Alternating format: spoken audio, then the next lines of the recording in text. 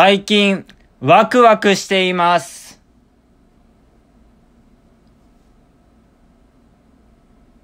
金馬の金馬ラジオ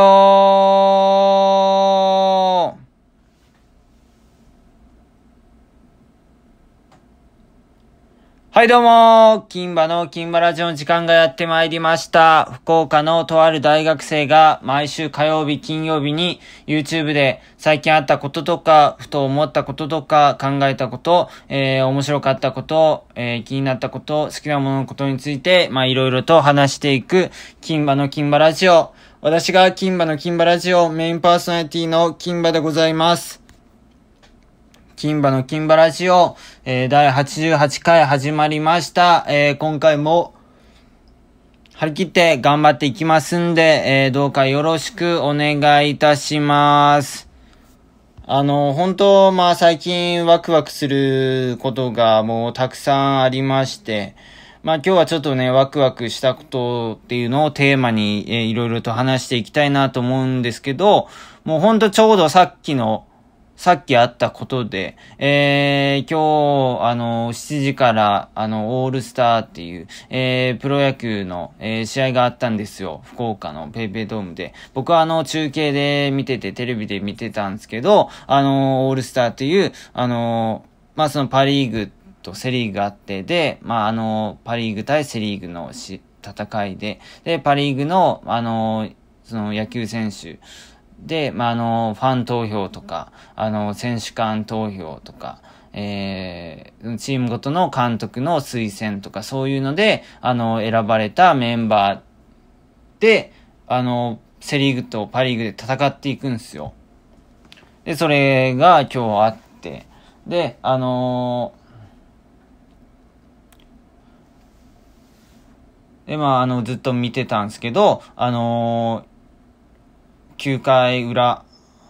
2対2なんですよ。パリーグ、セリーグ、9回裏2対2で。で、2アウトなった時に、あのー、僕の好きな応援してる日本ハムファイターズの、あのー、清宮幸太郎くん、清宮幸太郎選手が出てきて、えー、サヨナラホームラン、ソロホームラン打って、で、あの、パリーグの勝利に導いたっていう。いや、もうそれがちょっとめちゃくちゃワクワクしましたね。ほんと。持ってるなってほんと思いました。さすが、清宮くんやなって思いました。もう日ハムなんですけど、もう本当選ばれたメンバーがめちゃくちゃ少なかったんですよ。あの、清宮幸太郎選手と、あの、伊藤博美選手、この二人だけで、他の、あの、チームとかはもう3人4人とか、たくさんの人を選ばれてたんですけど、日ハムがむっちゃ少なくて、そんな中、でも、清宮選手が、なんか結果で示してくれたっていうか、のが、ちょっとめっちゃ嬉しかったですね、本当。で、MVP も取って、300万ですよ、300万円もらってて、いや、いいなって、すごいなって、ちょっと日ハム爪痕残してくれてよかったなって、本当ワクワクしました。そして、まあ、あの、先週の木曜日、えー、7月の21なんですけど、あのー、ライブハウス秘密で、あの、なんか DJ パーティーっていうやつがあって、で、まあ、そのある人から誘われて、いや、おもし、おもろそうやなと思って、行ったんですけど、この DJ パーティー行くのが僕初めてやったんですよ。まあその初めて DJ パーティーに行った時のこの話なんですけど、やっぱ初めてなんで、なんか DJ パーティーってどんな感じなのかよくわかんないんですよ。で、まあちょっとイメージ、か、なんか勝手なイメージというか想像なんですけど、もうみんなサングラス、お客さんも DJ の人もみんなサングラスつけてて、で、もうあの首元にはもうネックレス、ジャラジャラジャラジャラ、もうつけてて、で、まあ、あの、派手めな服、なんか蛍光色だったりとか、ピンクとか、むっちゃ派手めな服を着てて、みんな着てて、で、もう、周り、その、パーティーピープル、パーティーピーポーばっかで、なんか踊ったりとか、踊りながら盛り上がったりとか、ジャンプしたりとか、そういうなんかめっちゃアゲアゲのイメージがあって、そんな感じするんですよ。で、その中で、やっぱ初めてだから、その普通の私服着て行って、たら、なんかこれ絶対浮くやろうなと思って、で、こん、DJ パーティーで浮くのって、めちゃくちゃ暑いなと思って、これは嫌やなと思って、あのー、ちょっともう自分のできる限り、マックスのちょっとアゲアゲの服ではファッションしてっていこうと思ったんですよ。で、あのー、とりあえずサングラスつけようと思って、これは絶対いるなって思って、もう唯一、あの、一個だけサングラス持ってたんで、それ使って、で、このサングラスなんですけど、おしゃれサングラスみたいなんじゃないですよ。あの、天竺ネズミの川原さんの、なんか、ナスビくんの被り物のやつについてきた、あの、サングラスで、なんかおしゃれサングラスっていうより、なんか面白サングラスみたいな感じのサングラスつけて、で、あのやっぱネックレスとかもつけてるイメージあるんですけど、僕ネックレス持ってないんですよ。で、持ってなかったから、あのー、いつもなんか首にかける感じのワイヤレスイヤホン使ってるんですけど、そのワイヤレスイヤホンを、ま、ネックレスの代わりとしてつけて、で、特にあの派手な服とかも持ってないんで、まあ、うん、ちょいマシの、ちょっとナポレオンのプリント T シャツと、まあ、茶色のパンツ履いて、もう今自分ができるマックス、もう最大限のちょっと DJ っぽい格好を、まあ、していったんですよ。で、家を出ていく時から、もうこの格好で行って、で、自転車で、あのー、30分、駅まで行って、で、そこから電車に乗って、また30分かけて、あのー、その、ライブハウス秘密の最寄り駅まで行って、で、着いて、そこから歩いていくんですけど、もうその間、あのー、チャリ乗っている時とか、あのー、電車乗っている時とか、周りの人から、もう何人かからクスクス、クスクス笑われたりするんですよ。多分夜なのに、サングラスつけてるからやと思うんですけど、もうそんな感じでもうクスクス、クスクス、なんかちょっと笑われたりしてて、で、あと、もう普段僕サングラスとかあんまかけないんで、な、全く慣れてなさすぎて、あの、普通、ライブハウス秘密、もう何回も行ってるから、道に迷わないんですけど、もう一回だけ迷ってしまって、あれここちゃうわ、みたいな、なってもうて、道に迷いながら、ちょっとまあ、なんとかやっと着いて、で、もうライブハウス秘密の扉をもうワクワク、ワクワクしながら開けてみたら、どんな光景なんやろうって思って開けてみたら、誰もサングラスつけてなくて、で、みんな普通の私服やったんですよ。で、なんなら DJ の人たちももうサングラスつけてなくて、もう普通の服で、なんか思ってたんと全然ちゃうくて、逆になんかめっちゃ目立って浮いてるんですよ。で、もう、だんだんだんだんその、サングラスつけてるのが、めちゃくちゃ恥ずかしくなってきて、もうなんか、結局最後、そーっと、サングラス外しました。もうめっちゃ、恥ずくて恥ずくて、もうしれっと外しました。いやでもまあ、でも、なんかいろんな人と音楽のイベントをやってる人とか、あの、ボカロのイベントをやってる人とか、あの秘密の、えー、裏の、あのー、天国ってところのスタッフさんとも会ったりとか、いろんな人と出会えてめちゃくちゃ楽しかったなって、本当初めての、えー、そんな DJ パーティーでした。めっちゃワクワクでかっこよかったですし、DJ とかも、DJ の方たちもめっちゃかっこよくて、本当ワクワクした出来事でした。でね、あのー、まあ、これ、これらはまあワクワクした話なんですけど、あの、これからワクワクしてることもありまして、まあちょっとあの、最近、あの、周りの、周りの人とかで、まあ、あの、コロナにかかってきて、ちょっとあの、うん、いけるかどうかわかんないんですけど、あの7月27、明日なんですけど、あのライブハウス秘密で、あの僕のめっちゃ大好きな、もう、僕、僕がファンである、樋口幸喜さんっていう方のワンマンライブがあるんですよ。樋口幸喜さん。多分皆さんはうん、知らないかなと思うんすけど、あの、まあ、樋口幸喜さん、どんな方かというと、まあ、あの、ビジュアル系、まあ、福岡のビジュアル系バンドマンの方で、まあ、一人なんですけど、で、まあ、男性の方で、あの黒と青が、まあ、イメージカラーで、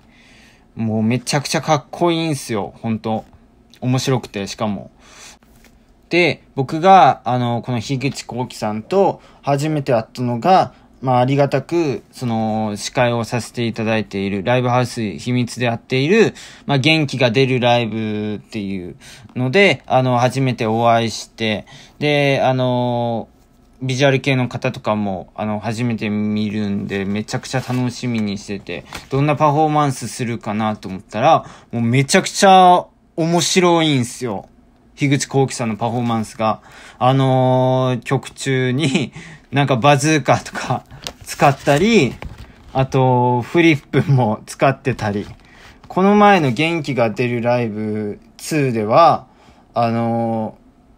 小芝居を入れてたり、演技を 入れてたりとか、あとあのー、まあ、いつも参加させていただいている、あの、お笑いライブ、え、ネクストコミカル、ライブハウス秘密でやっているネクストコミカルの、あのー、エンディングとかも担当されてて、あのー、歌いながら、ケツバットされてたりとか、なんかバズーカを撃たれたりとか、ゴムパッチンとかされたりとか、そんなめちゃくちゃおもろくて、もう、なんかあの、元気が出るライブの時見てたんですけども、芸人の僕よりもむちゃくちゃ受けてて、で、めっちゃなんか嫉妬したんですけど、ほんまにおもろいんすよ。めちゃくちゃおもろくて。で、ちょっと僕がこの樋口、まあ、もうファンなんですよ。樋口幸喜さんの、僕は。樋口幸喜さんのファンで、で、僕の、ちょっと樋口幸喜さんの好きな曲、おすすめソングなんですけど、あの、もっとバズらないとっていう。あの、樋口さんが、まあ、バズりたいという思いを乗せて歌った曲で、めちゃくちゃ盛り上がるし、もう、共感できますし、めっちゃおもろいんすよ。いい曲なんですよ。で、あと、ちぎられたヘルツ。もう、僕はもうこれを何回も何回も聞いてるんですけど、まあ、ちぎられたヘルツもっとバズらないとと、ちょっとちぎられたヘルツは僕めちゃくちゃ好きなんで、まあちょっとぜひあの、YouTube でちょっと調べてみていただきたいんですけど、あの、明日ライブハウス秘密で、この樋口幸喜さんがワンマンライブをする予定なんですよ。で、あの、これあの、チラシ今持ってるんですけど、あの、第1部、4部構成で、第1部、まあライブステージで、笑いあり、迫力ありのサウンドをお届けって 書かれてて、この多分おもろいと思いますし、第2部なんですけど、メタバースから中継。メタバースって何なんやろって、ど、どこやねんって思いますけど、まあメタバースってところから、ま、中継される。で、なんかゲスト、うん、バーチャル系、V 系、バーチャル系バンドマンがゲスト登場みたいな。えー、どんな感じなんやろと思ってて。で、第3部なんですけど、あの、演劇、演劇をなんかする感じで。で、これタイトルなんですかね。あの、ラブストーリーはパソコンにって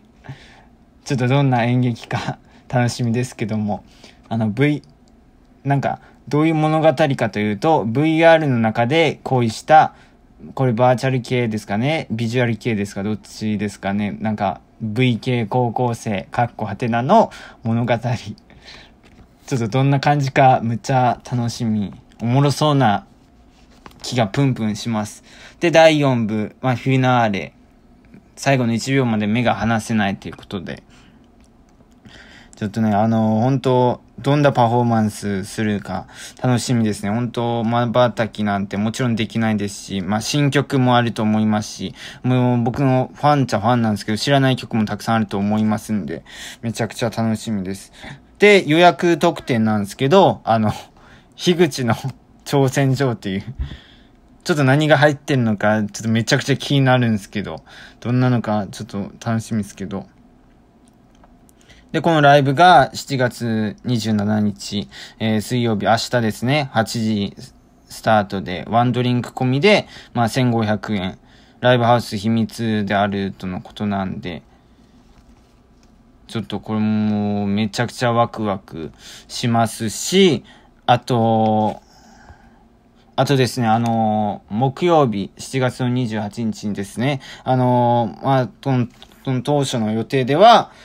えっと、まあ、いつもあの、ネクストコミカルに来ていただいているお客さんが、あの、古着屋を経営してて、で、あの、当初の予定では7月の28日木曜日に行って、で、ちょっとその時に、その、あの、いつもお世話になっている、あの、方から、ちょっといい活かした服を、ちょっと一着、なんかかっこいいやつを、ちょっと選んで、コーディネートしてもらいたいなって思ってて。僕あの、ほんとファッションセンスないから、ちょっとこれも本当楽しみにしてます。生かしたやつをちょっと欲しいなって、それもワクワクしてます。だからちょっとあの、周り、今日、かなんですけど、ま、周りでちょっとコロナにかかったみたいな、あの、陽性出たみたいな、あのー、人とかもちょっとおって、あだからちょっと明日の、ちょっと、まあ、僕は特に異常なくて、体調も全然大丈夫なんですけど、ちょっと明日の検査行って、ちょっと、これ行くかどうか、ちょっと、判断したいなって思います、本当。樋口幸喜さんのワンマンライブと、あの、えにしっていう、あの、まあ、西陣にある、福岡西陣にあるえにしっていう、ENISI の、っていう、えにしっていう、まあ、古着屋さんなんですけど、そこに、ちょっと行くかどうかちょっと判断したいなと思います。でも本当、えー、なんもなければいいなって思います、検査で。ちょっともう本当楽しみにしてるんで、何もなかったらちょっと行きたいなって思ってます。そんなこんなんで、えー、お時間となりました。まあ最近本当ワクワクすることがたくさんあってなんか本当めちゃくちゃ嬉しいんですけど、その一方であの今ちょっとテスト期間中やし、あのー、レポートとかもむちゃくちゃあるし、あのー、インターンシップのエントリーシートとかもめちゃくちゃあるんで、ちょっと焦りながらも、まあ、ちょっと、そういうやつを全部終わらして、まあ、いろいろ楽しみたいなと思います。で、まあ、あの、ちょっとね、周りで、あの、コロナにかかった人とかもたくさん割とそこそこいますんで、ちょっとコロナとかに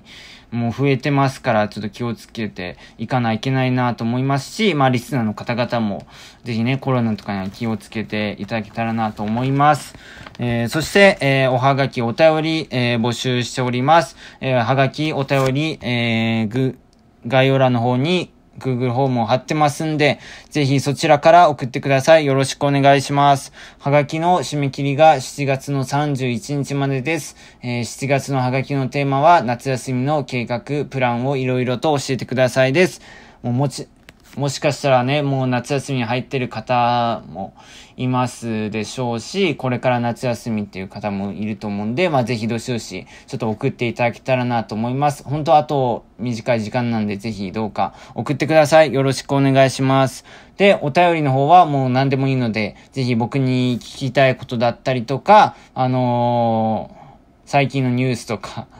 なんか最近こんなことあったよみたいな、ちょっと面白いエピソードあったら、まあちょっといろいろと、えー、教えてもらいたいなと思いますし、悩み相談とかも全然大丈夫なんで、ぜひどしどし送ってください。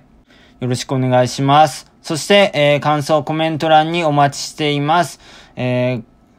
ちょっと感想を送られてきたら、本当もう毎回読んでまして、えー、本当励みになりますんで、えー、どうかたくさん送ってください。よろしくお願いします。最後に面白かったら高評価、チャンネル登録よろしくお願いします。次回も聞いたってや、バイバーイ。